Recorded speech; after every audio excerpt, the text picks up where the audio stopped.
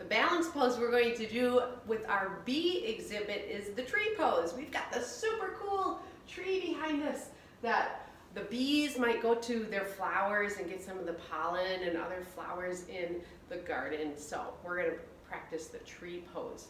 So one of our things we need to remember is that we want to keep our eyes on something. Pick something in front of you that you can look at. So I can actually look forward and I might even look at this really cool design that's behind me. There's a, usually you want something that's right in front of your face so you don't have to look too far up or too far down.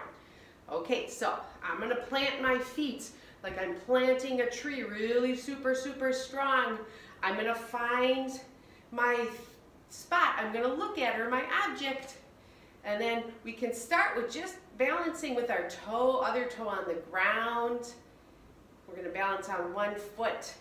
And then we might bring our hands to our heart like this, or our hands out in front. Like maybe we're waiting for a bee to land on our hand or a butterfly. And if that, if you wanna try another way, you can put your other foot on your balancing foot. You might feel your foot wiggle a little bit.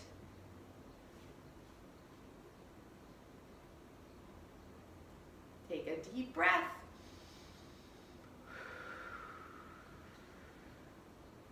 And let's try the other side. All right, so notice, pay attention on purpose. Feel your foot like you're planting it into the ground, like you have roots, like your toes are roots.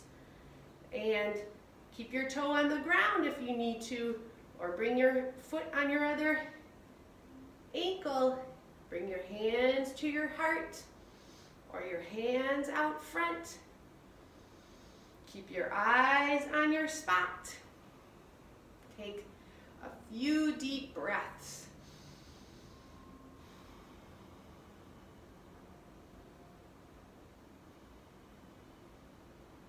If you fall over, if your tree falls over, take a deep breath.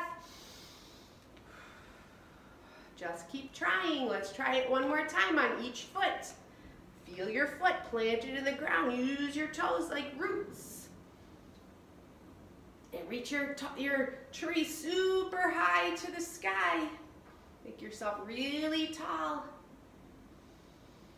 Take some deep breaths.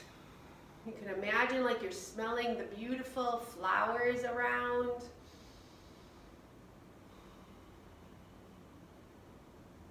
And try your other side.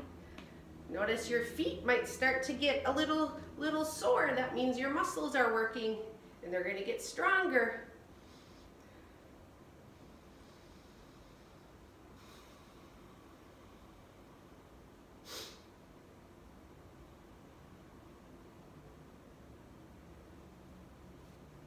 And then bring both feet back to the ground. Take a deep breath. Breathe out.